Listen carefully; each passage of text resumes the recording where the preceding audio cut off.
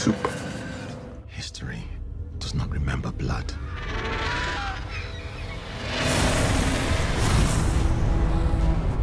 It remembers names.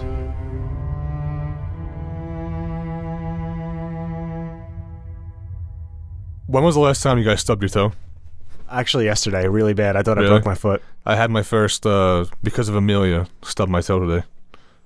Yeah, I did yesterday. The toys were in the way in our bedroom, and I caught the bedpost. Did one of you bring in the smell of tomato soup? Is that one of you? I don't think so. Tomato soup. Yeah. Because that's a smell that wasn't here before you two got here. You sure? I don't know. Maybe my sense of smell is I cooked asparagus in the shirt last night. Maybe it was asparagus came in. Mm, that might be it. Yeah. Hello, everybody, and welcome back to another episode of Nerd Soup. I am Beau Oliver, joined here today with Aaron the Nerd Soup Monkey and Teddy, and we are back to talk about House of the Dragon, Episode 10, The Black Queen, the season finale that had everybody internet on the internets talking, and some people were horrified. Others maybe were delighted, depending on what side they support. But yeah, I'm excited both. to talk about this finale. Uh, you guys can listen to this, of course, on YouTube and Apple Podcasts, Spotify, Amazon Music, all the homes for podcasts wherever you listen. And follow us on social media at Nerd Soup, at Beau Soup, at Nerd Soup Monkey, at Teddy Nerd Soup, and at Anthony JQ Nash. Just gonna shout him out because it appears on screen. So, Aaron, you all right? Feeling good? Now I'm checking my shoes. Okay. Well, before we get into today's podcast and break down themes of royal bloodlines, royal successions, and battles between heirs, we were lucky enough to be sponsored by one of the most unique games out there on the market right now Bloodlines Heroes of Lithas. If you're new to Bloodline, now is the best time to start. Download and try out the game for free by using our link in the description box below, and you will receive an amazing starter pack to begin your journey. Plus, their newly added hybrid system gives players the ability to create their own unique legendary champions. By combining the bloodlines of elves, demons, demigods, orcs, dwarves, lycans, and dragonborn, you can create the most powerful champions the world of Lithas has ever seen. You can create over 800 different new hybrids between any two bloodlines, and like a true royal, you must raise your children to become champions. What's cool is that your heirs will inherit the talents and traits of their bloodlines, and also their unique appearances, passed down from each family tree and merged into one. The higher your companion's intimacy level is, the more powerful your offspring will be. So not only must you build your kingdom and economy, but you have to play Love Doctor, Matchmaker. Pick the best two characters in order to solidify your power for generations to come. Not to mention the game itself has visually stunning 3D realistic graphics matched with beautiful scenes and fascinating storylines that will leave you addicted to its fun and unique gameplay. New characters are being added to Bloodline every month, so you can get really weird and creative with some of these combinations. And this Halloween, a brand new lineage has been born, a new vampire clan called the Accursed. These are some of the baddest, most terrifying assassins yet to be found in the world of Lithas, an undead clan that rose alongside the Dark Elves from the ashes of their homeland's cataclysm. I mean, that's a pretty badass and terrifying origin story if you ask me, so you can imagine how dangerous they are on the battlefield. And by partaking in the Halloween event, starting October 27th, you will be able to obtain an accursed champion for free on the seventh day. So head on over to our description box below and download the game today for free. And if you use our link, you will receive a starter pack with $20 worth of goodies, including 10 energy potions, 100k gold, and 100 diamonds. So don't wait. Click that link and become a legend today in Bloodlines, Heroes of Lithas. Well, everybody already got our thoughts, so Teddy, might as well start with you. What did you think about this? Getting the perspective of the side that you were supporting. I know you must have been feeling like Daemon in this episode. Yeah, I was I was chomping at the bit. I was very surprised that she didn't take the uh all right, let's go to war. Or burn Otto at the stake when he came to town. Burn him at the stake. But it, it showed it showed where her head's at and it was really nice seeing leader Rhaenyra in this episode for the most it's, part. it's the coffee. That's what it Coffee. is. Yeah. How are you picking up that coffee? you smelled that? I can't smell it. Yeah, I have a pretty good smell, it's too. Strong. Black? It's just Yeah. black. I want a big black kick right now too. I did spill. uh, You know when the, the, the top doesn't always seal? I have one of those situations right now. So Oh. there is. But man, An aroma. good nose, but also bad nose. Yeah, you smell Good it. nose but- to pick up the coffee, bad nose to think it's tomato soup. Maybe bad coffee. Phew, 7 Eleven. They got, That's a pre- conundrum. they got premium stuff over there. That shit's always burnt, dude. I know, it sucks. you know what else is burnt? No, no. No one's not, burnt. not Otto. Yeah. Yeah, I wish it was Otto. Yo, I took balls to show up after what he did. That one guy got burnt that was a substitute for Laenor.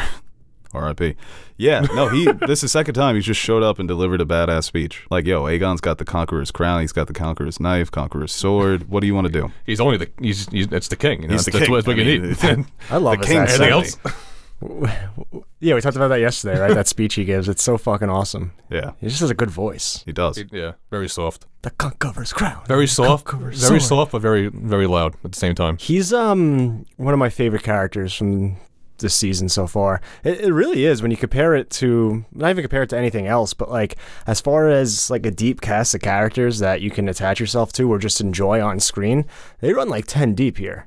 And I At least. and obviously we got half of those characters give or take last week and the other half receiving the news this week and yeah i think there was um seeing like the reaction over the past couple days. I think a lot of people have taken away from just the contrast between daemon and rhaenyra um, in this situation in, in these moments after hearing about viserys' death. Like you said daemon more you know let's just go to war. Let's fuck it, let's go scorched earth here. And Rhaenyra having uh, more of a rational line of thinking, where she doesn't want to put the realm to the torch, a la well, like Daenerys, but um, kind of showing a level-headedness, a coolness, and that's something that Rhaenys points out as a reason why, um, well, part of the reason why they want to support her later on. But yeah, it was nice to see her kind of shift into that role of Queen Rhaenyra because like you said, like we said before, it's like something you can prepare yourself for mentally, but you don't know until it happens. And I think this was a bit of a, a test for her in the eyes of many of the lords, even on her side. And I think she showed great composure. I loved Rhaenys this episode. She was just chilling the whole episode, watching everyone. That smile Making of her hers. move. She's Yeah. got the million dollar smile. I, I'm surprised people weren't like. Well, she's heard- well, well, Rhaenyra's lucky that she didn't want to go to war quick, because then she would have told Sea Snake to back off. Let's do what you want to do. Let's go retire. As cool as Right. Rhaenys is, it doesn't feel like she hates Rhaenyra whatsoever. Both No. of them. She respects. It's like we Like, said. yeah, la- she maybe well, killed our son, but she's cool. We said last episode that she respects her. she and- does, and, that's right. where it's coming from. Well, I think for Rhaenys, I'm surprised. Like I haven't because when I first watched it, I thought people were gonna have this take that like Rhaenys and Corlys were up to something because of the lingering shots on her face and the looks they were giving. But one of the funniest moments we didn't we didn't mention on the review was um when Corlys comes in and asks where Daemon is. And she's like, "Oh, he's doing some secret mission." Some Daemon stuff. and he looks at her like, "That's smart move." Get him the fuck out. yeah, it's like, I see what you did there. yeah. I don't know about you guys, but this episode seemed a lot. Well, I don't know if it was just what happened in the episode, but it seemed a lot less paced than the last episode. I mean, granted, Viserys died, so a lot of stuff had to happen. There's a lot of stuff happening in this episode So too, slower, basically. and it felt a lot slower than Yeah. last episode. No, definitely. And and I think them trying to find Aegon makes it feel like things are happening, moving more, pressure. quickly. Yeah, With this, it's they have to sort of react. And there is a bit of a mad scramble here, but yeah, I would definitely agree with that. Uh, the anxiety in episode 9 wasn't as strong in this episode. Right. Maybe for Daemon's character, because Daemon seems to be the one who's itching Lost for it. revenge. For revenge. For revenge. yeah. Yeah, he lost it a little bit. And like we mentioned, you know, both of these characters lost a child. He lost a brother, she lost a father, and then at the end, he loses a stepson, she loses her own son. Yeah. Uh, so a lot happens to them within the span of you know 24 like- hours. Yeah, legit like 24 hours. Their entire lives change. That's something you pointed out that I, I didn't really consider, uh, especially with Daemon this whole episode, because, and I think it's because we see Rhaenyra and what she's going through, that I associated the, uh, losing a child to just her Yeah. and not Daemon, because it was just so brutal seeing her go through that and the pain she was in and the way she was holding the stillborn. Like, it just. oh my god, that scene. I just connected it so much more to Rhaenyra, and I didn't even like, even though I know it's Daemon's child, I didn't even put that on You know him. why though? It's because of the time skips. And it's not that big of a problem, but I really think that hurts those moments because it doesn't she's just pregnant and it's like okay yeah right they got married and they have two other kids and the third one's on the way so you almost sort of forget I didn't put that together. Just and like I, I knew it, but I didn't think of that until just now when you said that. Like Daemon lost a kid too. Yeah, and I, I definitely I have minor issues with Daemon in this episode, but I So do I. don't hate the idea of him being too afraid to confront that reality of not only losing another child, but possibly losing Rhaenyra, because we've seen it in the show twice. So it was a tough episode for him emotionally, mentally, and that's definitely why he, we find him in that state. He's just acting on instinct. The only thing he can think of right now is violence. That's the only way to get back at these people who have stolen Rhaenyra's throne and now stolen a child, essentially. So he's a bit unhinged in this episode, and we've seen that from him before. Well, yeah, we see at the end, obviously, Rhaenyra. Just that look, man. I'm so excited for the next season, and it sucks that it's two years away.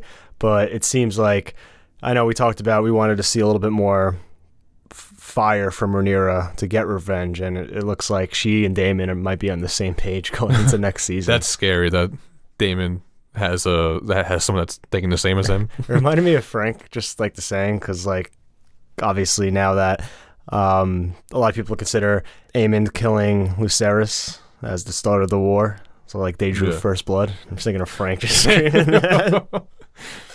oh, that scene too, man. Aim Aemond fucked up. He done fucked up.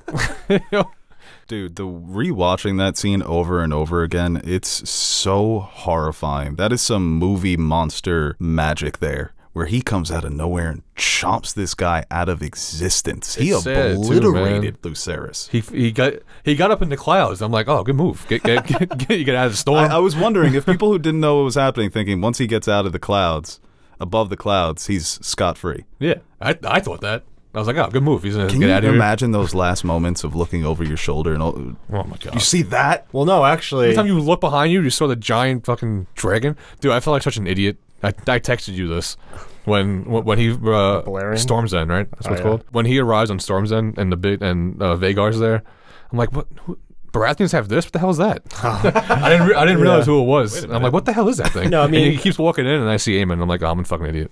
it's like makes me feel a little better though, because I, I having read the books, knowing that Lucerys is actually alive in Vhagar's stomach. So, wait, no, that's that's Pinocchio, right? Yes. Ah, fuck, I keep confusing them this week. Well, Pinocchio, that's a whole discussion. Is he alive? Is he not alive? Well, by that time, he is a boy, well, right? Geppetto's in the whale. Maybe. Is that Nemo too? When the whale swallows him and they're alive still? Yeah, that's what I thought of. Well, it's also It's got a some Nemo Bible in- guy too. oh right? no no no! Uh, uh, yeah, Men- um, Jonah? Men in Black. When the cockroach eats Rob, uh, Robin Williams. Oof. When the cockroach eats uh, Tommy Lee Jones and he's still alive in his stomach. That was a great move. yeah. Great movie. Uh-huh. Both three of them. So I think Lucerys is Ah. setting up shop shop inside Vhagar, plotting his revenge. Plots way Well, I the guess I outside in. just sit here. Me and my thoughts. Poor kid. He was great this episode. Yeah, Even was. though we're losing some development because of the time jumps, and I wish we could have spent more time with the Velaryon children and his Alicent's children as well.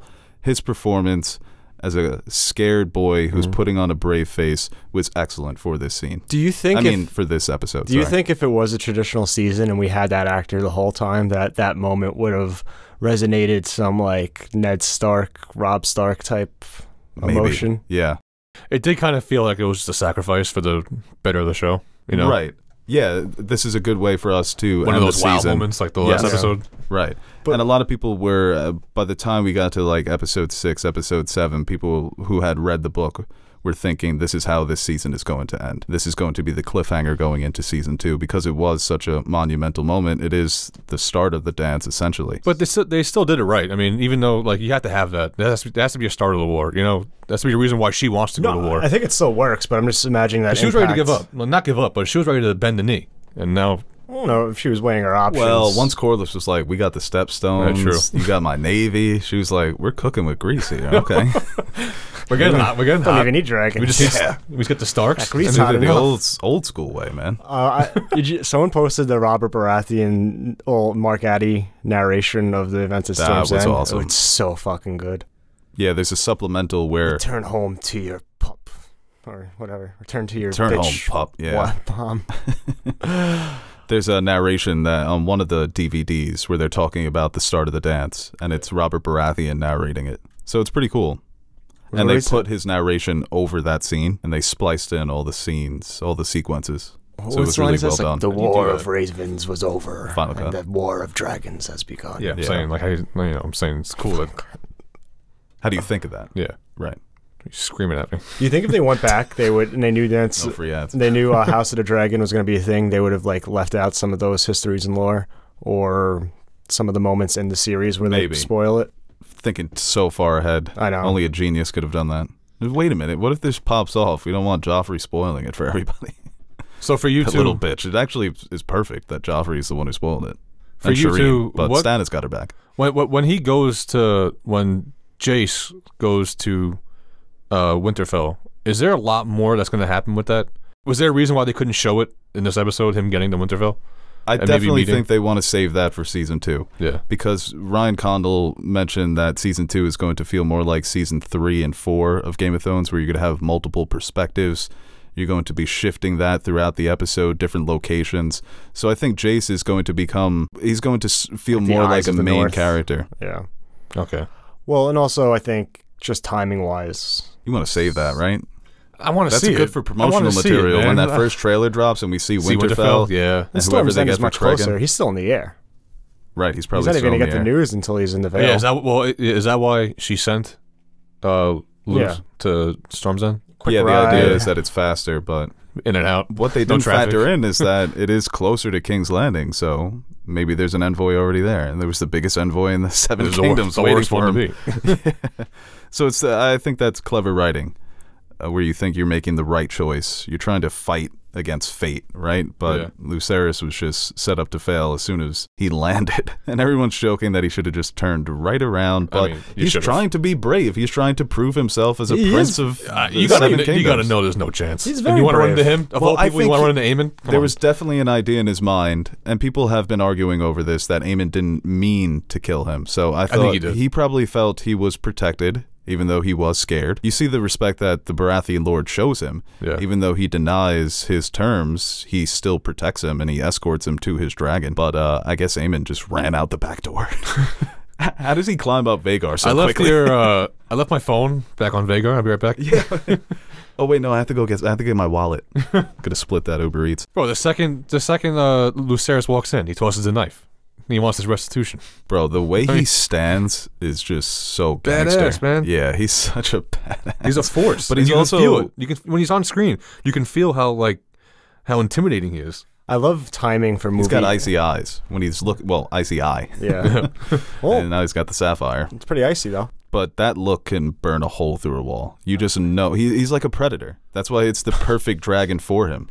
I love unrealistic timing or um like yeah, unrealistic timing in movies and TVs, but it like makes the moment so much more cinematic. Like when he turns around, just like when Lucerys walks in, it's like, well, I'm why would he turn around? Like just to make that dramatic turn when he comes in, It is I. or even when Daemon just have Caraxes come at the perfect time. Oh, I was thinking about that. Do they have ESP?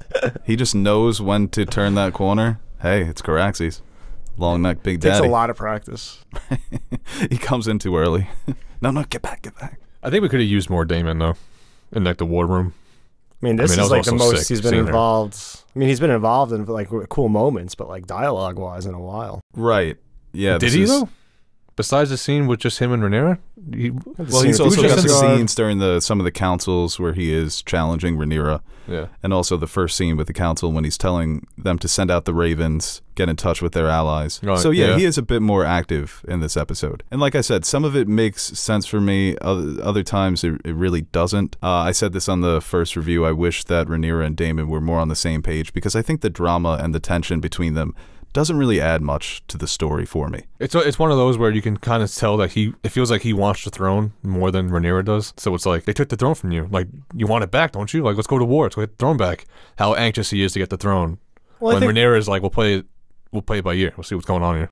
I think they did it so extreme on both sides, Sounds just like a hot to and cold. well, just to sh- show the contrast between them here. Yeah. Um, I don't really mind it because, like we said, Daemon's always been impulsive, and you tell he that this would ignite that fire within him. That he is kind of just. Yeah, I think he's rational in some of the movements he's making, trying to get the Ravens out. So like he's still level like level headed, but like in the back of his mind, it's war. Like But everyone Oh, he's defended war-ready, him. man. two not- weeks, we got this. in episode seven when his children show up bloodied and he's just in the background fine calm as a fucking whistle Oh, when when the, they had that fight, right? Not his children. no his his daughters Oh yeah, that's right. Yeah, I thought you were talking about And everyone's Jace, like, yeah. well, Daemon loves them. He's concerned, but he wants everybody else to put their cards on the table He's before Rhaenys, making man. his room. He, he was Rhaenys in this episode. Well, Rhaenys was No, Daemon he- in this well, he- episode. yes. You know, he's always in the back lurking, Yes. thinking. And that was Rhaenys this episode. Right. So I think it threw me off a bit, and some people push back on why does Daemon? Why is Daemon questioning what happened to his brother? Didn't he see him? And even though in an episode eight he sniffs the tea and he does question Alicent, what the hell have you guys been giving him? But I do think in that moment it was a dumb thing to ask. How did he die? Well, Daemon, he died. I know. you know. He's missing half his face. he take he took off the mask. I guess Daemon wasn't paying attention. he also scene. never he, he he didn't like the arrangement that was happening though in King's Landing. He when when he first got there and he like you said he sniffed it. He felt like there was a little more booze than tea. So like they tried putting them out, right. And uh, I and then it's still fact though. Your son takes the throne. Really, you, you see in his head he killed him for the throne. right. Well, I also think Daemon just hates Otto Hightower. When he Yeah. was walking through that thing and he was just pacing back and forth, Oh, so yeah, ready to he draw was swords. So ready. He did draw a sword. I know. sword. Yeah, that's something people were arguing about. Should Rhaenyra have killed Otto there? The old adage is don't shoot the messenger, but I guess with a sword, you can circumvent that in a way. Slice the messenger. I mean, if I'm King Rhaenyra- Leonidas if I'm kicked Rhaenyra, him, I'm cooking kicked the messenger. We we know, and Aemond ate the messenger. So, So everyone got a pass except for her. Maybe you could keep him as a prisoner. but no one wants to start it. No, yeah, That nobody was wants all- to. We got our it, yeah. answer. That was Uh, Rhaenys- Rhaenys says, you know, Yeah. she doesn't want. It's not her war to start. That's gonna be something that like uh, freezing cold takes. What? Like when the war's starting and like people are like, oh, oh, this war's not going. Like a lot of shit's going on. Rhaenys being like, well, you know, I didn't want to start it, so my hands are clean here. I like how in that war room they kind of showed some realism with Daemon too, when he's like, "We have 14 dragons. Can we just go there and kill them all?" The very realism of uh, invoking not, dragon re- fire. not, not, not realism, but like what we're thinking. Like you have dragons, why, like just go there with your dragons and take them out. But he he comes out and says it. Yeah, Yeah, no, no, you know. I'm joking. I think that's a, a good point because we often wonder with certain situations, well, why not just use the dragon or why not use Yeah. this magical power? But sometimes you just have to suspend your disbelief for certain things. But at least it was addressed. And that's where they changed Rhaenyra's character a little bit, where they are presenting her as the level headed, reasonable queen. She doesn't want to just plunge the realm into absolute chaos because she knows the destruction that will ensue. But when you do read the book, and you don't need to be totally faithful to the book, but there is a bit more edge to her, where she will strike first if she thinks it's necessary. So that contrast between Daemon and Rhaenyra, it didn't. I don't think it's a major flaw of the episode, but I, I found it to be a, an interesting choice that I didn't necessarily love. Well, it seems like they're deliberately, and I- I, I truly think they're saving it. They were saving it for Lucerys dying and her having that moment, transitioning into that type of character. Because even when, But she's They- technically not well, shooting first though. either when she She's kills reacting. Vaymond, I believe in the books, like it's Rhaenyra's, like she's like fucking kill Vaymond. Where, Right? He's making accusations, and she says, "You know what, Daemon? Bring me his head." yeah. So She's got a Um, little venom there. And that's not to say that she's this unreasonable, crazy person, but But there's a certain moment that's going to happen next season that you know of. Um, that like it doesn't add up it's hard for her to go that far. to not be who we think she's going to be next season. If she's still the same cat like if she doesn't change, and that they're going to have to do some maneuvering there. I feel like no, they definitely will change her. And I guess that look at the end Yeah. is what lets us know that she's headed down a darker path. But uh, even the moment, it's a moment I criticized in the first review when Daemon does choke her. I always find it to be a lazy trope in Hollywood, just the random domestic violence against a woman. I think you could have got that point across by him smashing a table or screaming. yeah, I was a little thrown off when he did that too. Yeah, like, what, the hell, what the hell's going on? I, I compare it to when Robert Baratheon strikes Cersei in season one. He's immediately regretful. Then it opens up an avenue for Ned to ask Cersei, has he done this before? And then he learns about the abuse that Cersei's been taking all of these years. Says, I'll So honor you sort of- again. And it sort of it sort of shatters this image that he has of Robert. Even though I think we would all agree that Robert is on the moral scale better than Daemon. But it opens up some some insight into his character and some of the flaws that he has. And I think, he- like I said, he's immediately regretful for doing it. He tells Ned, I shouldn't have done that. So it, it opens up and it develops these characters in an interesting way. With this, it's just Daemon's an asshole. And Right. I'm not going to get too hung up on it, but the way they the, some of the writers talk about Daemon is starting to piss me off. Just it feels like they're talking down to the audience. Like they keep just In what way? wringing our necks. You're not supposed to like him. Oh. You're not supposed to. And Oh. I don't even like him that much. My favorite character is Viserys, and Viserys is a pussy. He's dead. so I don't love Daemon, but I, I just didn't love that moment. To me, it just and people Well, you have been. think do you think they're trying to make us not like him for a reason? I don't think they. Is there a reason why they're, why they're I don't think to they it? dislike Daemon. I think they're talking more about like the romantici- romanticization of Daemon, where like everyone thinks he's like this misunderstood, uh, like you know, calling him daddy Oh, so- stuff. so- like, I think it's like that. But I think as a character, they're they're a fan of him, and it's George's favorite character he's written. So like, obviously they know. I, I think they don't. They're not surprised that people like Daemon. I think they're surprised the reasons why Well- they like him well, is it like, or uh, how they picture him. Just so, some of the fans, and I, I think a lot of that is just having fun online too. I don't think it's something you should take super seriously. I don't think people who are like, "Oh, I love like Daemon. I want him to like marry, like want to marry him and stuff," even though he's killed his ex-wife and choke Yeah. out his current wife. I don't care about that. I think that's all done in just like fun As a joke, It's like So it's like, well, the writers are saying this episode when he kills his ex-wife on purpose. Then people start not liking him. And then they stay they like him more. But I think it makes him a more interesting character that he's willing to go these lengths, except when it comes to Rhaenyra and Viserys. That to me makes him more interesting. Yeah. He's a psychopath, but he's got a soft spot for Rhaenyra. Why? That adds an interesting layer. But I don't want to say that the moment of him choking her shatters that idea, because he's still a great character. And they do share, uh, I guess, a loving moment at the end when he seems to be wiping away some tears, and he gives her the news about Lucerys' death, takes her away from the table. So he's trying to break that news in the best way possible. But like I said about the way that writers sometimes use domestic violence to shock the audience, it's a bit cheap for me. It's almost like the dramatic equivalent of a jump scare. We always complain in horror movies that jump scares are lazy. To me, this felt lazy. And like I said, with season one in Game of Thrones, with between Robert, Cersei, and Ned, that moment adds a new wrinkle to their dynamic. You know, I'm not, even though it is disturbing, I'm not against a moment like this if it serves the story and the characters. And for me, it doesn't add anything to the dynamic between Rhaenyra and Daemon. For me, it, it moving forward, I do hope that they're more sort of on the same page, and this was just a bad day for Daemon. Just chalk it up as a bad day. it was Well, a I bad mean, day. he- Yeah, he had a bad day. It's a No, shitty, yeah, it's yeah. a shitty day, man. Get Right. a war declared on you, treason. Lost his uh, son. lost But his it's like the Michael Irving daughter. video. You, you know the What? Michael Irving video when What, he's like, "What are you prepared to do? They're talking about you like you're trash." That's what I wanted, in Daemon season two. Get your shit together, man. You got some games to win. Well, that's what. Well, that's what. When I said I was like I wanted more from Daemon, you kind of felt him maturing through the season, Yes. and then this episode, yeah, you found out some real shitty news, and it's like all that went out the window. Right, which could happen, Yeah, but, but I, was I didn't want it to happen to him. it was abrupt Yeah, and a bit jarring and a little inconsistent. But like I said, overall, I really love this episode. The more I think about it, so just minor criticisms I have. Oh, I think it's a really good episode. I think most people take it as a strong finale. Going into it, I was a little scared. You, like people who watched the leaks, you heard like character assassinations and like all this other stuff, and I'm like, and that's why when I watched it, I'm like, I don't see this at all. And that's why I was kind of not defensive, but I was trying to point it out in the regular review. I'm like, like that, nothing close to that occurred here. Um, and it just, I think sometimes yeah, character assassination. That's a little Yeah. bit too far. who would?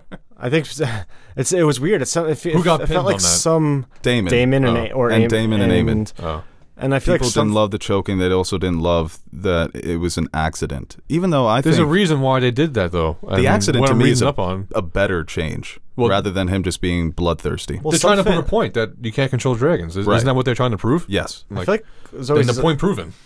Yeah, that's a good point. Well, I was thinking about this earlier. You see Vhagar, every time Vhagar lands on something, it just gets destroyed. How much is that costing them in infrastructure? what are these dragons doing here? They serve no other purpose except to hold on to the throne, hold on to just to reinforce Targaryen rule. The ultimate Other than that, if you don't just- have yeah. dragons, though, if you don't have the dragons, well, you have an, an army and you're gonna go to war a lot more. That's like, Well, it took them like another 130 years to realize, oh, we don't have to listen to them. They don't have dragons anymore. oh really? yeah, they, they still sat on the throne for like another century, and they're like, wait a minute, what the fuck? Why are we still bowing to these weirdos? Their purple eyes. you guys got your answer too. There's like 16 dragons out there. Yes, I love that. Them naming Sheep Stealer and a, a Silver Wing, and they didn't mention the cannibal by name, but the cannibal's the best one. All the memes about Vhagar getting PTSD as soon as she got hit with the flames was so funny. she went back into war mode. Yeah, I don't know. Like we talked about it a little bit, but Arrax's fucking survival instincts are trash. That's like you you were Yeah, getting away move. just to come back and like just give it a little like basically I don't even know like the perspective wise what that breath of fire felt like was like for Vhagar. Just like a like lighting a lighter in front of her. Like, oh well, that was uncomfortable for a second.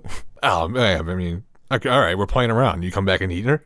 You you eat the dragon? I don't think she thought they were playing. This wasn't no like two puppies in the. It's like me fighting a three year old. I'm not going to actually fight him. I mean, come on, Vhagar. Have a little, like, Yeah, that's exactly what it's like. Here. A three-year-old like hit you with like their toy, and you just took it and threw it out of the Yeah. threw out of the window. I mean, Vhagar needs some discipline. You got to show some some restraint. You come back and eat the dragon? Yeah, maybe the they could have just.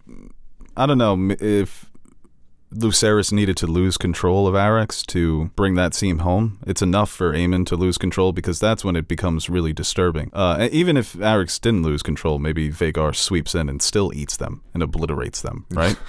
But I guess the that's the best way to call it, man. Yo, they, really is. Vhagar ripped them to shreds, Bro, it, But maybe- Vhagar's mouth covered the entire dragon. like seeing the parts, it felt, felt like something popped. It was just I know, like, dude. and the screech Yeah. And the size of Vhagar, dude. see, Just that's a mass. The CGI. That's one thing that, that annoyed me. Incredible. That did it kind of throw you guys off? Like it kind of felt like it was like a like a crappy superhero movie. one. Like when they're riding and like he's laughing and chasing him. He was a little goofy. You know, I didn't mind that. eye. you didn't think or you he's a did. goofy superhero villain. You have a That's what it felt Death an old Yeah. Valyrian. Yeah, he's he's a cartoon Billy. He's a little mustache twirly. I mean, he's got a fucking eye patch. He, he put a sapphire in it. That's so ridiculous. Everything about this man is ridiculous. He's we've said it before. He's cosplaying his uncle, so he always has to take that to the extreme. It's not enough that I have an eye patch. I need to put a fucking jewel in it so I can intimidate you even more, even though I have the weirdest and scariest looking face. You know what I was thinking? If Daemon would have went to Storm's End and not confrontation with Daemon and Aemond, I can guarantee you, Aemond wouldn't have even spoken two words. No? no.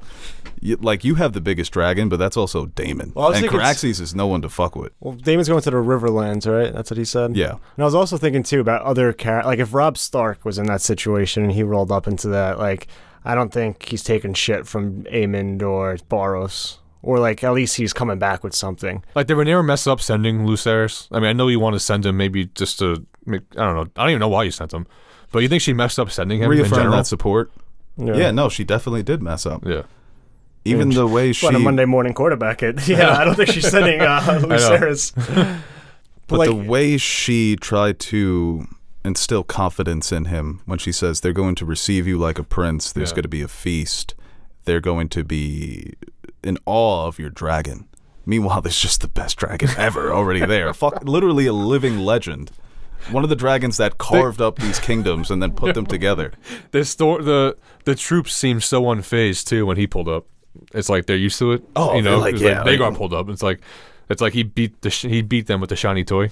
Like, he, like Aemond beat Lucerys there, and like took all the excitement out when they saw. Lucerys is like, size doesn't matter. Okay, dragon's fine. That was just such a horrifying way to reveal it as well, and the way the camera pans Mm-hmm. and then pans back to Luke, and then Luke's just o- overlooking his shoulder. Like, are, are you going away now? Please leave. No, I saw some people point out like the comparison to uh, Jurassic Park, and yeah, it, it's just perfect. That and just the shadow of him above him was just insane. The, si- the the way they differentiate the sizes, like when, when you think dragon, you think big, they're huge, but then when you showed that size comparison with him and Vhagar or her, I don't know, is is his was his dragon a girl or a boy? Arrax. Yeah, anyone know? Could go with boy. All right. When they show that size comparison with them two, Yeah. I'll say them two. With them two. Also, what was was Drogon on steroids? Because Luke's dragon's like fourteen, and he's that little. Meanwhile, Daenerys' dragons are like four, and they're just bosses. She had them working, man. they were marching. They were Maybe just you know? a yeah better breed of dragon, I guess. Yeah, right. They grew up in the trenches. they they weren't coddled in the dragon pit, you know. eating grapes. Yeah, they were sleeping on the floor and eating eating kids and shit. They didn't even have a home until like Meereen. It's like the athlete that was chasing chickens versus the Yeah. rich athlete who was in the gym. That's Drogon. Ro- no, uh, Rocky and uh, Drago. Right, yeah, exactly. It's And out in the- the fucking mountains. And the more I see dragon riders in this show, the more unexcusable it becomes that none of those dragons had saddles. I know, right? And especially because the saddles are so nice. Can ride him like a horse. What was Daenerys holding? Pointy The ass horns, scale. yeah. horns. There's no way her hands. First of all, they were extremely calloused Mm-hmm. after that. Probably bleeding after every flight. You tell me those spikes aren't uncomfortable to sit on? Yeah, I mean, I feel Yeah. like and I- there's no way you're not being flung off at the speed. they showed that too, though. They showed how hard it is. Well, I mean, I, it feels so weird talking about the show because it's all fake. I know It's it like- feels really. I know. It's like they show how hard it is to ride a dragon, especially in those conditions. Like like Luke almost fell off a couple times. It's not easy to ride them and hold Yeah, on. he's struggling, man. That dragon. He's pumping his wings. He's flapping for his fucking life. Let alone, I mean, you have Vhagar chasing you, but it's the storm that you have to beat first. he made a good move too, going through the trenches. Yeah, right. I thought that was the end colliding. of it, and then I mean it wasn't. I love that. the suspense of that whole scene, man. I, I wanted to turn it off at one point. I'll come back to this in like 20, 30 minutes. I need to collect myself, especially because I knew how it was going to end. But Did you? You didn't feel like that with the uh, the miscarriage scene? oh, that I did look away. I'm, yeah, getting, I'm point, getting sick of it. Um, personally, I mean, I love the show. Uh, I'm getting sick of the miscarriage scenes. I can't keep watching that. I mean, come on, can we not? Can we just like cut to the like after it and say uh, we had, we had a miscarriage? Like, right, and it's something that we gotta the happens. dead fetus coming out. Yeah, it's something that's more talked about in Game of Thrones that mothers losing children and mothers losing their own life during childbirth, but it's played a more integral part of the story in House of the Dragon. What are they trying to prove or show? There's a reason why they're doing this. With There has to be a Rhaenyra there, I think it's she gets sent into early labor because of the news. It Yeah. overwhelms her, and then she loses a child. So that even as a you know when you're a woman and you're put in this position as a ruler, you're also in a position of being a mother, of being a parent, of bearing children, and that's something that they talked about in that first episode. That the role of a woman in this society is to have children. So right now she's on kid number six. Yeah. Is that not enough at this point? It's just uh, as many as you can have, you just have them. Uh, that's sort of your role to not only just it's it's your role to solidify your power, to establish heirs, and so if something happens to the oldest, there's another one. I'll tell you what. I would have gotten the same feeling if they would have just skipped that and said we had a miscarriage. Well, I think Than too with her screaming. I would have felt that same consequence. I didn't have to see it though. when you hear the screams while they're planning the preliminary stages of their plan to counter the Greens. Um, I think that was well done in two ways. Obviously, to the two situations kind of going hand in hand with together. I feel like it was just a back and forth was just the like, you know, it just showed the weight of the situation. Like all this is going on, and she has she has to deal with this, and also kind of the looks the characters, the male characters are giving to each other. I think it just it's like, oh well, Yeah, that's that's us. that's yeah, like what? That's us. Yeah, no, we but can't just- stomach it. but I feel like in a way it's presented as like that's our leader in there, like not here, she's somewhere else going through something that you know the men of the realm don't have to go through, and you don't really, you wouldn't hear um, Daemon screaming in pain throughout the halls or something like that. And I think that's some of the hesitancy they have when she first walks in, and she has to prove herself to She be still pulls up a capable after that. leader. Yeah, and I think that gets her a lot of respect. No because days.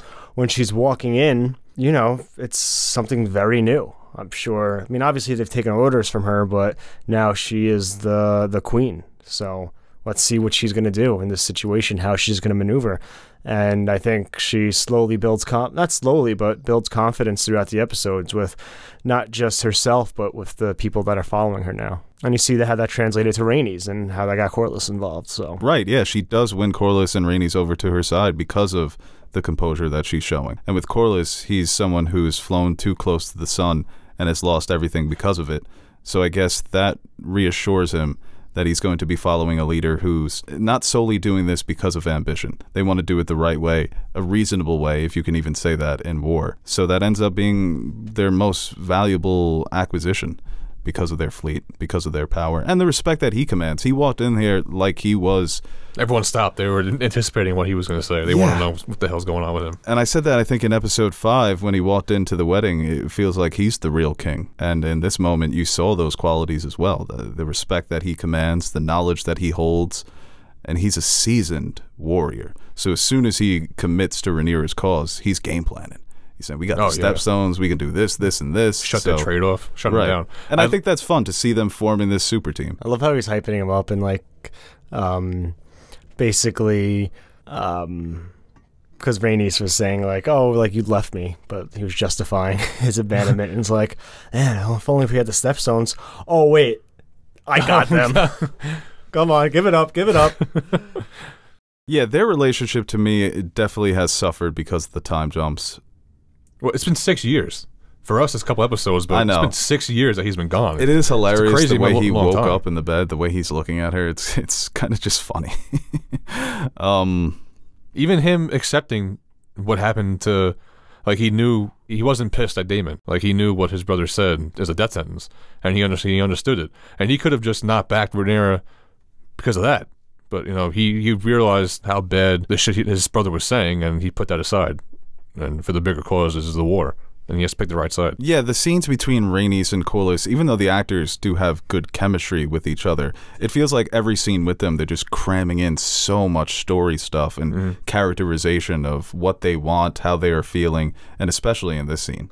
In their eyes, Daemon is responsible or indirectly responsible for the death of four of their family members. It's all justified though. Yeah. well, the Laenor thing is just funny to me because even when Ra- Rhaenys is giving Rhaenyra that smile after Corlys reaffirms his support, I don't know. It, it- it feels like she really likes Rhaenyra. that she's just her grandma, even though maybe she killed my son. ah, that was Daemon. They probably think. Yeah, that was Daemon. Even of though they said that- that she was complicit. But, But there is like, part of me thinks that Rhaenyra, uh, Rhaenys knows that he's alive. I mean, there part is. That's how that. they're sort of playing it, but there's no reason that she should know that. Yeah. And if she did know that, you would think it would make her even angrier. But Was there DNA in Westeros? Well, what they've witnessed was Qarl killing their son. Like that was witnessed. So, I mean, you can have your suspicions, but maybe they're like, Maybe she didn't. maybe she didn't. You know, she promised them, promised her in the Godswood that she didn't. That, that goes a long way, right? I swear to I swear to the seven, or I didn't I do don't it. know if she she did swear that she had nothing to do with it, No, no, oh no, never mind. but they keep bringing it up. Yeah, I just hated Laenor. Right. she seemed upset at the time. But I think that could have benefited those characters, a scene where they get a little bit deeper into that, where they try and rationalize it, try and make sense of it. But it, it's it happens a bit too quickly. But I do think Steve Toussaint in this episode was the best he's been as Corlys. I mentioned this on the first review. Their back and forth. I was really impressed with the writing there of who's going to get the the leg up, and finally Rhaenyra does convince him. So he was great. And like I said, he really does command that room when he walks in. And then he realizes, okay, I'm going to play the supporting role here. So all of that was fun. We got a kick out of the first council when Daemon says, We've got all these dragons, we've got Meleys, and it pans to Rhaenys, and she's like, We? Got who? That's bold of you. Okay. But yeah, that's going to be fun because she's got this warrior vibe to her. I mean, obviously, she had the great moment in episode 9 when she's got the armor on and she is on Dragonback. so is this gonna be a Rhaenys takeover next season? Yo, can you control yourself? What? I'm just saying, every podcast is either you're smirking at me. There, you were doing like a, like you were trying wine with nothing. It's just- I never know what I'm gonna get when I look over at He's you. cracking the wrist. I don't know what I was doing actually. But he was nodding at me and going like this. I was was, like, I was nodding at Teddy what he was saying, but I was kind of just. Well, then Are I you wa- trying? Wait, whoa, whoa, whoa, whoa. I, I, I can't see. I, I was talking to you.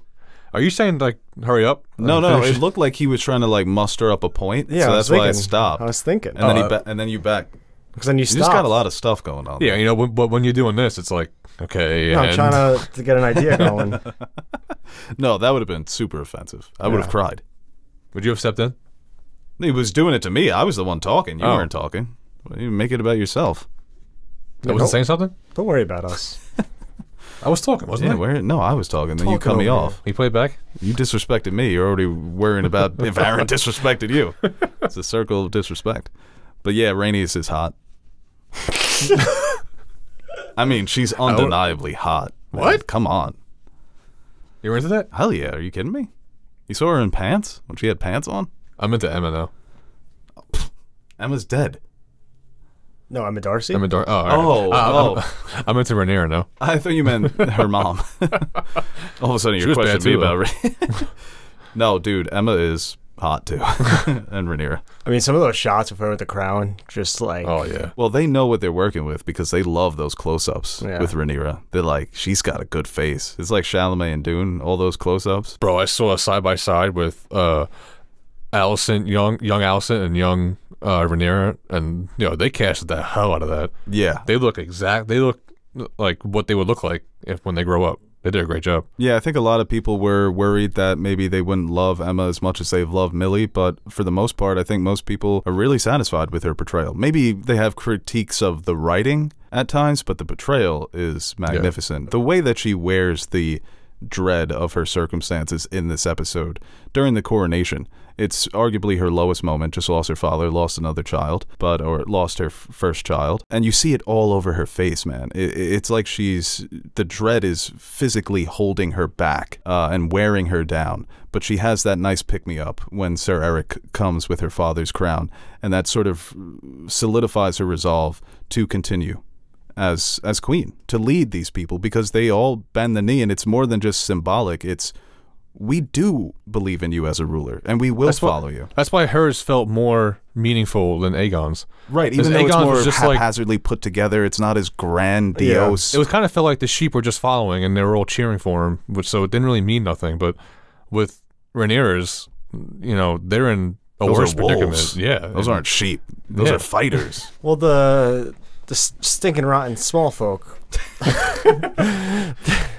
right there's none of those there at dragonstone Yeah, I mean, all they care about is like, well, like, um, inflation well, no, like how Otto said, like the symbols of legitimacy. It's like, is that the Conqueror's sword?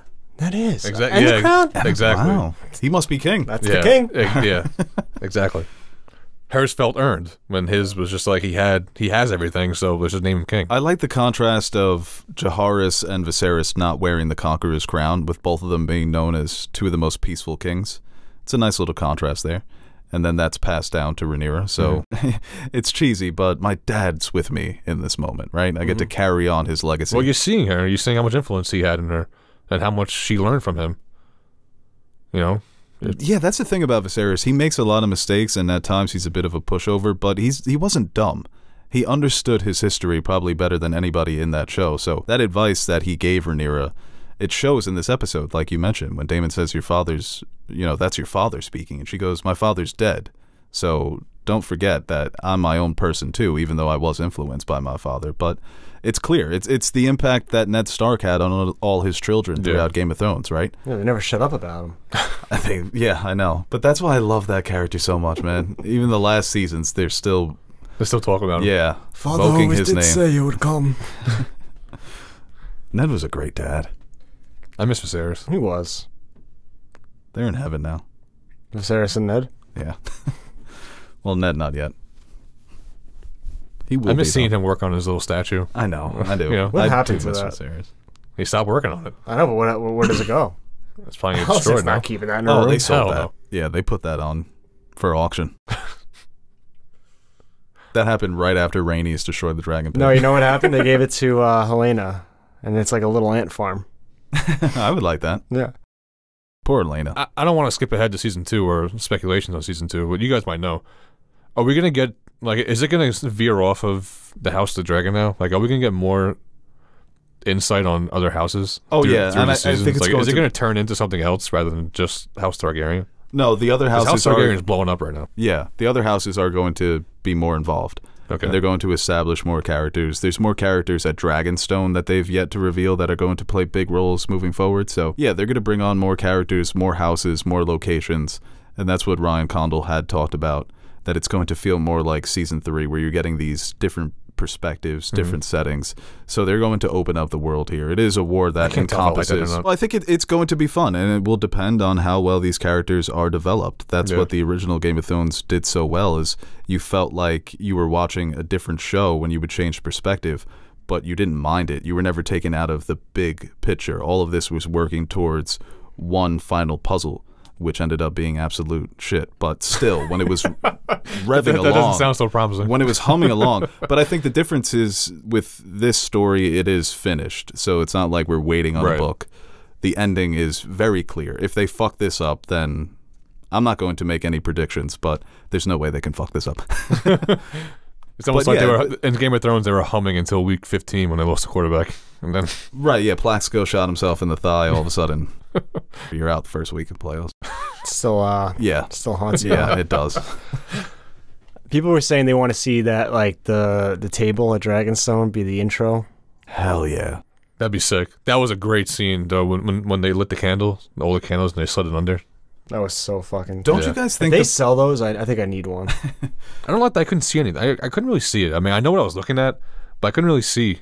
Like, the locations? yeah, you know what I mean. I, I don't know how they're seeing it. Like old jumble mess, the mess. No, the up. best map so far was Cersei's map in the Red Keep. It was an easy map.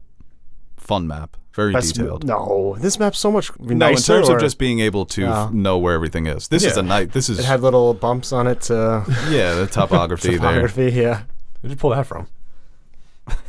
Topography. I'm surprised I was able to oh, say. Oh it. yeah, I mean, like, like, like, I was, I was gonna I'm say. thinking about I it, swear to God, I was gonna say a, to, a topographical map, Yeah. but I'm like, that's not the right one, is it? so were you mad when you said it? When yeah, you said very. I was pissed. My dad and myself, and you were able You to slid steal it it. came in yeah. and swooped that dude. I always liked those globes in class, the ones with the little Me too. bumps on it. Yeah. I miss being a janitor. What the hell was? I was thinking of a point. Now I can't remember it. You just implied that while you were a janitor, you would sneak I- into classrooms and Well, feel the globes. I s- all right. I, I w- when I was a janitor, I would hundred percent pull the maps down like I was a teacher, and I was like, pretend. yeah, not not pretend like I'm a teacher. I would pull the map down. I'd like roll it up and and feel it. You know, look at it. What did It you felt think of cool. uh, Vermithor? What did you think about that scene? Badass, dude. Yeah. Bad. I think it's huge. Well, the scale, the So is that his dragon now? So he's kicking his dragon to the side. I can't get by that. What? Just Teddy just going in and pulling him out. You never map. wanted to pull the map down? I mean, I'm, trying I'm picturing a teacher walking in. It's like, what are you doing? And you're like pretending to teach a shit class. I shoot it back up. hits you in the face. so is that his dragon now, and he's kicking his dragon to the side, or is that just on their team? No, well, what he said was, I think he does mention that they're unclaimed dragons. Right. So Is that means one of them? Daenerys did have three, but that was a little different. I think they all sort of just followed Drogon's lead. Right. So I don't think this is a spoiler. That's not Daemon's dragon. Oh, He's warming him up, though. I think he's warming him up for the possibility of we're going to let you out of your cage, and uh, hopefully, all of a sudden, Alicent's other son claims him. like, God damn it! hey, Vhagar, what's up, man? Long so time. who gets Vermithor? Well, we will see, I guess, right? In season two, we have to wait. But the scale, I mean, Oof. but the CGI has been so incredible, and the flame, the way that he's singing, and Vermithor is basically celebrating in a way. Yeah. he's literally putting his lighter up. I mean, in certain aspects, I feel like the CGI and has been a little shaky, but always with the dragons, which I think is most important. They made a point for these to look fuck- fucking breathtaking.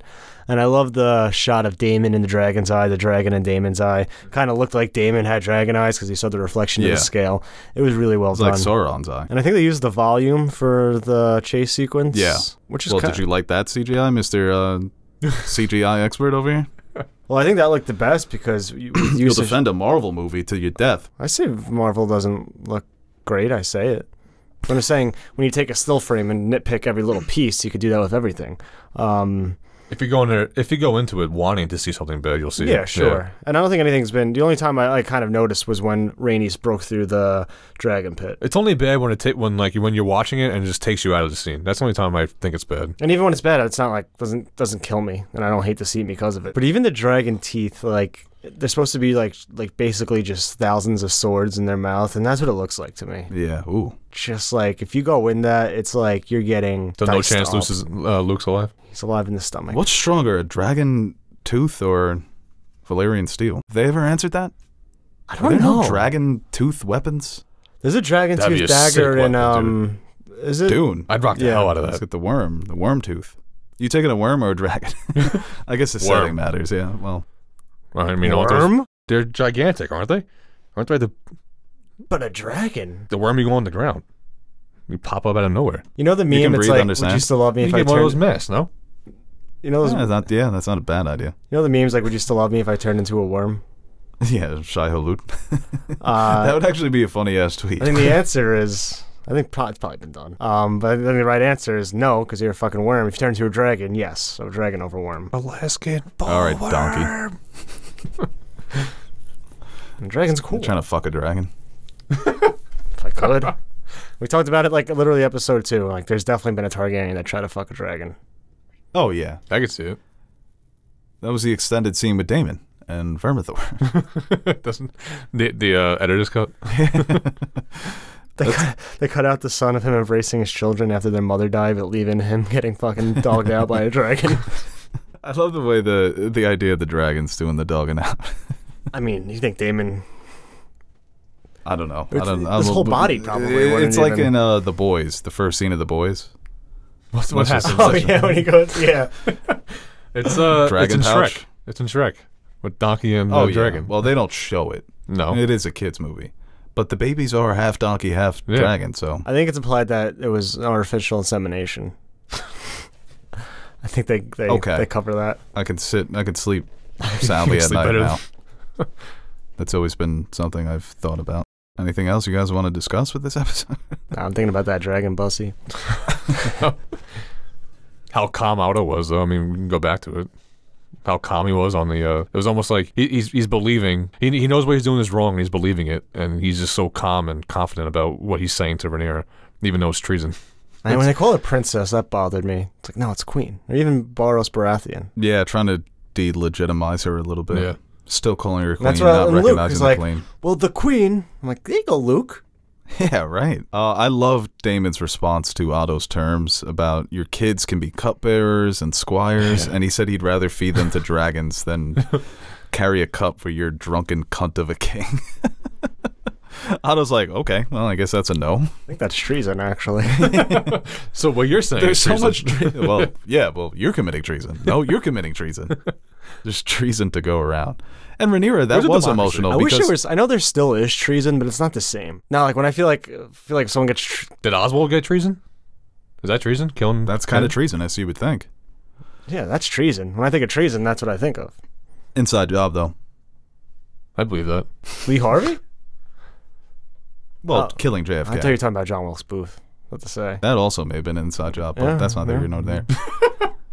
For Rhaenyra to have a person who's been by her father's side all of these years, she was best friends with this person's Ending on child, That shot too. a mentor, somebody that okay, maybe they didn't have the best relationship, but it was somebody to look up to, somebody to help guide Rhaenyra. They did have that sort of relationship when she was younger. So yeah, he betrays her, and the motion does come out that. I was complaining that they were caught a little bit off guard, but maybe they were. Maybe they made the mistake of giving these people the benefit of the doubt. And Otto tells her, "You and your father are the only two people in the kingdoms who didn't know that Aegon was going to succeed him." And Alicent, apparently. yeah. Yeah, right, and Alicent. so I guess sometimes giving the benefit of your of the doubt to people in this world can come back to bite you, and it definitely did in that moment. But once again, Emma Darcy's performance so good, so strong, all the emotion coming out, taking off the pin, th- getting fucking rid of it. Just you know what it fuck is? you. What a great.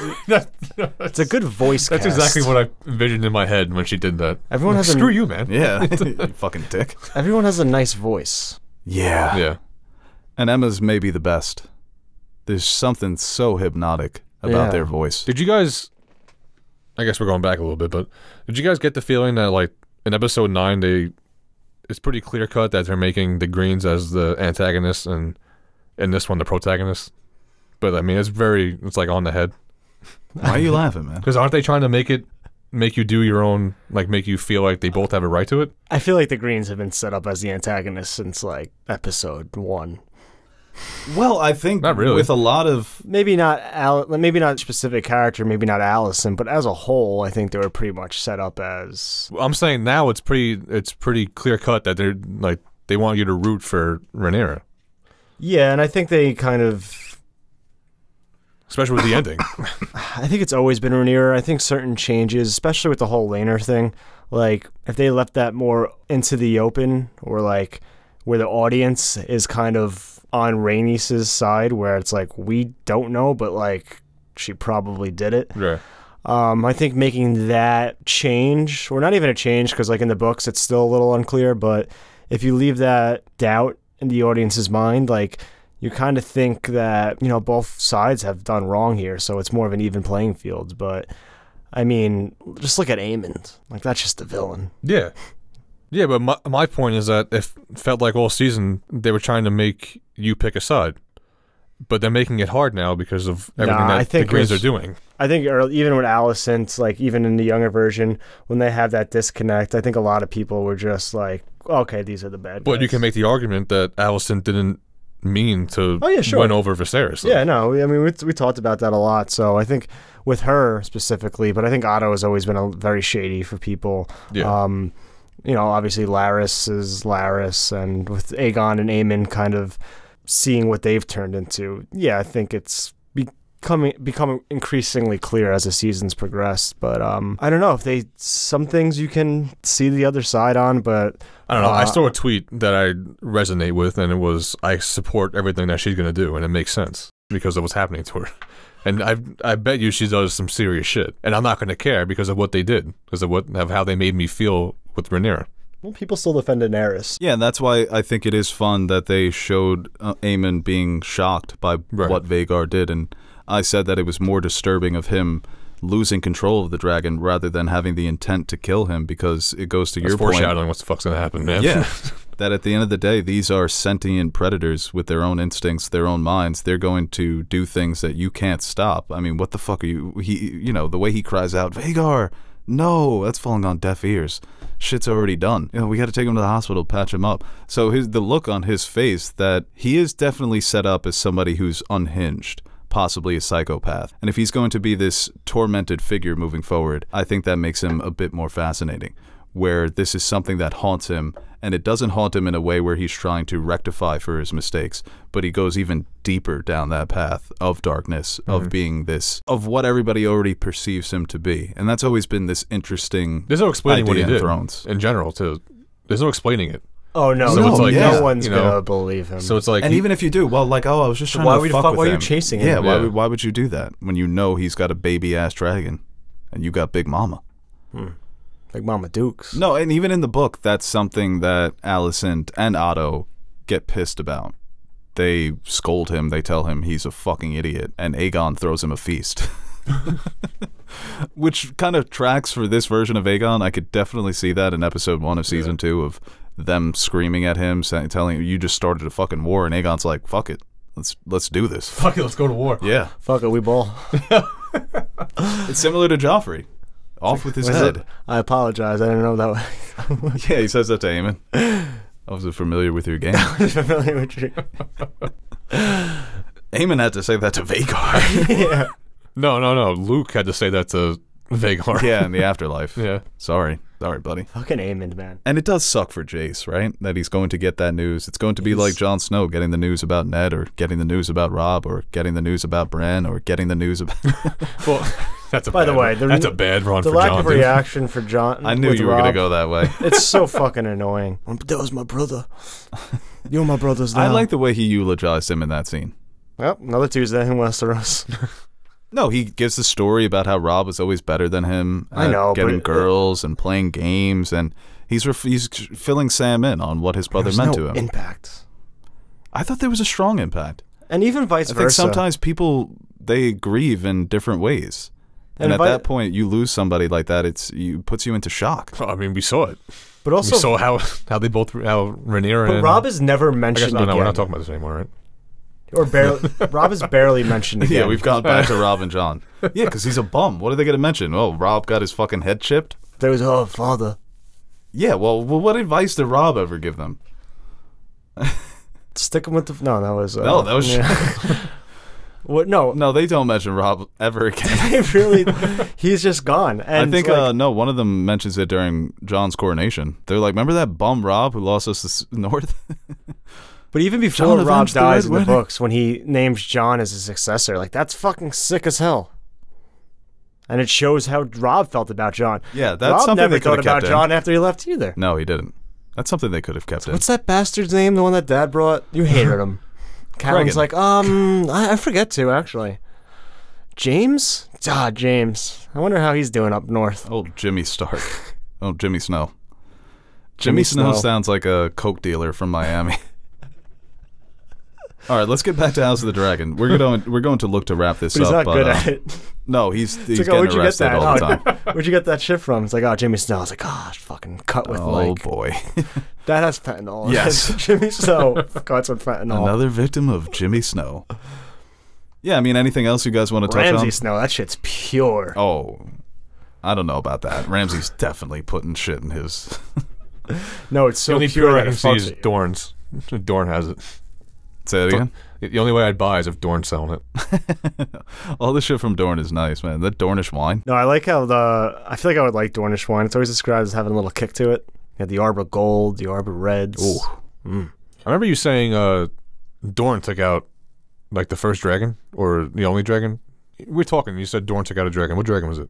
So one of Aegon's sisters, actually named Rhaenys, she used to ride a dragon, Meraxes. Okay. And Dorne still, even in this timeline, hasn't been conquered. So it's not part of the Seven Kingdoms. It really is just the Six Kingdoms. Doesn't have the same ring to it. So during one of the Dornish conquests or attempts at conquering Dorne, uh, Meraxes was hit by a spear right through the eye. and the story is that Rhaenys fell with Meraxes and also died, but there are a lot of conspiracies that Rhaenys survived and they kept her as a hostage.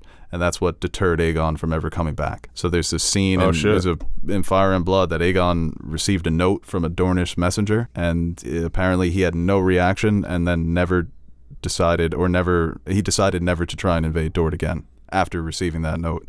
So the conspiracy is they they said, "Hey, we have Rhaenys. If you come back, we're gonna gutter. There's always theories. Like every character who's ever like Lucerys. I think Mushroom says that he survived, and but he got amnesia, and he's just wandering around. Yeah, everyone's always surviving. I mean, there's Rhaegar conspiracies about surviving. So that's the meme. I'm sorry, I didn't. That, that's Aegon said the meme to the, the Shaq to thing. Dorne. Yeah, I'm that's sorry. what they said. Yeah. Well, that's why in uh, the original Game of Thrones, Tywin asks Oberyn to sit on the council because he goes, "Well, the last time dragons invaded, Dorne was the only one to take him out." How'd you guys feel about Daemon and Rhaenyra finding out about what like what happened to Luke, but like not actually like like we don't see how they found out. Daemon just comes up and tells her what happened. Did you guys care about that at all, really? Or No, was that was actually something- done really well. In the moment, I was wondering how the hell did they find out, but Yeah. I guess you just have to whatever. assume they found out. Yeah, you know? eventually someone's gonna. Hey, where's Luke? I know. It's a 20 minute ride. It's been three I know, right? My location share is just it's not working. His phone's not on. and that's going to be one of the lasting images Rhaenyra's face. But I think Daemon's actions in that sequence were subtle but effective. The way, like you said, you can kind of tell that he's wiping away tears and he brings her away from the table, grabs her hand. So I thought it was a great way to end the season. Yeah, no, it's that's like we said, like as a motivator, that's just so personal, and I think it's just up, it's up there with any other motivator we've seen. Like even like when Robb gets the news that Ned's dead, like obviously he's angry and he wants to get revenge, but a child is just like a different story, especially one like Luke, just so young and spending all this time trying to protect her and thinking you're doing the right thing and sending him um, on this mission. She probably feels a lot of guilt, a lot of anger. So all that emotions conveyed right then, then and there, and it's such a powerful way to end the season on that last shot. Yeah, and I do want to circle back just quickly to when Rhaenyra tells Daemon about the prophecy and he, she has no idea oh, what Oh, she's yeah. talking about. That's how Emma Darcy sort of broke down the scene is he reacts that way because he realizes he was never the actual heir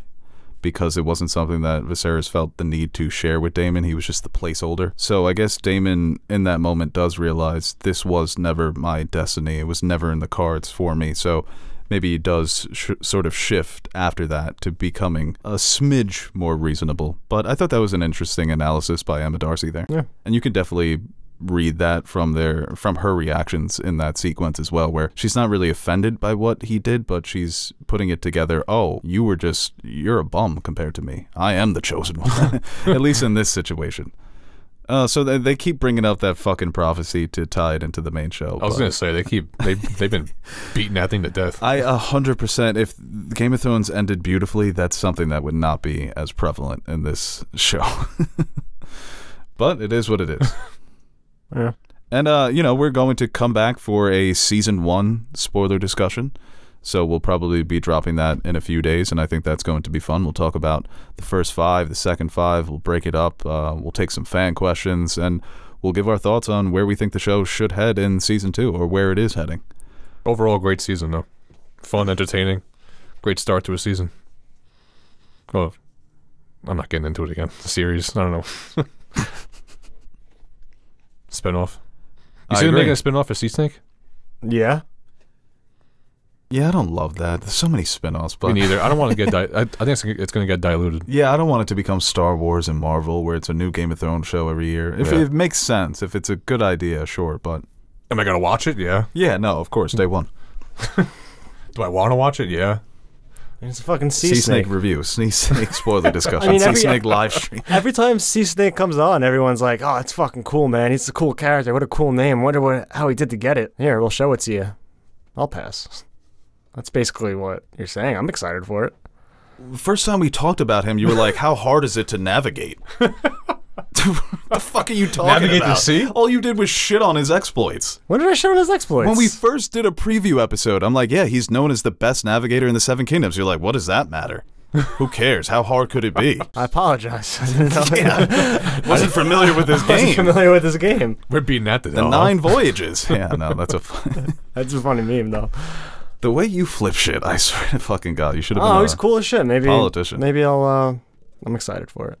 George is almost three three quarters of the way done at Winds of Winter. he Has that been the story for the last like 15 years? well, if you average it out, He's that means almost we still have another three years to go. yep. It's been 11 years. It's three and a half years for each uh, each quarter. The winds. Of, so it's Ice and Fire, House Fire and Blood, and the Winds of Winter. No, What is it? I don't even know what you're trying to go for. what books is he? What what? What's the like the order? It's the Song of Ice and Fire. Yes. That's like the That's the ten of series. them, right? Or the, the five of them, whatever well, it I guess it's supposed to be seven. Okay, then there's Fire and Blood, right? Yep. Or is that part well, of? that's a different. That's not part of the series. That's just a textbook. Isn't that what this is? That's what this is, yeah. But that's not one of the main books. That's not part of the Song of Ice and Fire story. It's a Game of Thrones, Clash of Kings, Storm of Swords, uh, Feast for Crows, Okay. Dance of Dragons, Okay. and The Winds of Winter, which is yet to be released, Oh. and A Dream of Spring. Mm-hmm. And he's also teased possibly an eighth book. Yep. He ain't getting those out. Uh, yeah. I, The well, Rise of the Dragon just came out. All right, guys, that does it for this episode 10 spoiler discussion. Thank you guys for joining me all season. It's been a fun ride, and we'll be back in two Joining- years. What? What? Did you catch that? Well, we said, So thanks for joining me all season. Like we're fucking chopped liver over here. damn. You guys, I host the podcast, and you guys join me. Oh, I thought you were talking to the fan. Like thanks for joining us. Oh. No, I was I was talking to you. Oh, Oh, I thought you were t- telling the fan. Thanks for Yeah. joining me. That's what, that's what I oh, got no, from no, it. no, no. Yeah. Okay, okay. No, I could see how you can read that. You're joining me on my episode four solo review. I really carried it this season. No, well, thank you, Aaron and Teddy. And of course, thank the fans for joining us. Give it up. Yeah, the fans. Ooh, look Actually, at that. so, so uh, someone recognized me the other day. Oh, It shit. really weird. It's only the second time it's happened, and they were like, "Oh, I just listened to your the the I think it was episode eight spoiler discussion." I was like, "Oh fuck!" I'm always so awkward in those situations. I haven't gotten recognized yet. It happened to you, didn't it? At the Giant game, yeah. That's how it only happened to me twice. One in Toronto, very recently. I didn't two in ask to recognize that. I didn't get recognized yet. I think he. You think he made it up? I don't know. He was wearing the shirt, so I think someone pointed out the shirt, and he's like, I'm there. "Guess who I am?" The sh- go to the movies in that shirt. You'll I'm be Beau. recognized. He's like, no, I do both characters. They're characters I created, Beau and Aaron. just like the Seth MacFarlane and Nerd Soup, just doing every voice for everybody.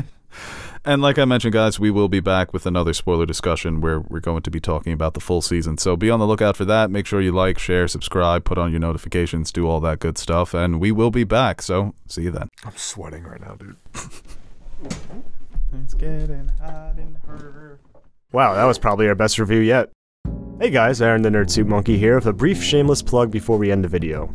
Do you ever feel like you don't have an adequate amount of nerd soup in your life? Like you're going to bed hungry and yearning for the nonsensical yet entertaining nutrients our podcast provide? Well, we've come up with the perfect solution the Nerd Soup Fan Question Podcast, exclusively available to our Patreon supporters. You can sign up now by visiting patreon.com slash nerdsoup, and for the price of only $1 per month, you'll receive exclusive access to our weekly podcast where we answer your questions that don't make it to the main show. And while you're there, you can check out the other rewards we offer to our patrons, like mugs, t-shirts, behind-the-scenes footage, and appearing in the credits at the end of our videos. And that's exactly what we're to do right now. Roll the names of the nerds who make Nerd Soup possible. The reason why the crypto crash didn't send our lives spiraling down a black hole of no return. Alright, I'll stop talking so you can listen to this jazzy ass music while checking if Beau spelt your name wrong in the credits.